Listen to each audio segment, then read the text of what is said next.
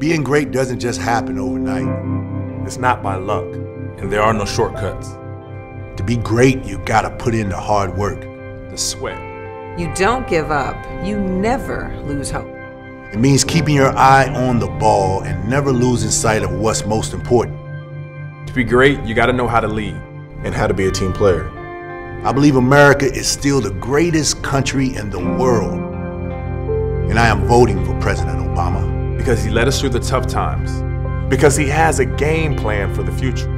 Because he knows this country succeeds when everyone gets a fair shot. Because he will keep this country the greatest. The greatest. The greatest.